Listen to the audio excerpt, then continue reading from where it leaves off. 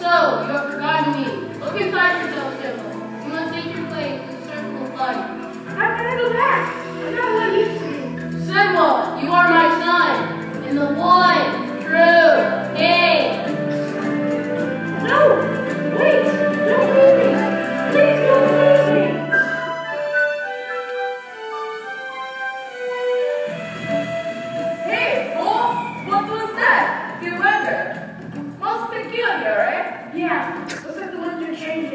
Ah, it's good. But it's not easy.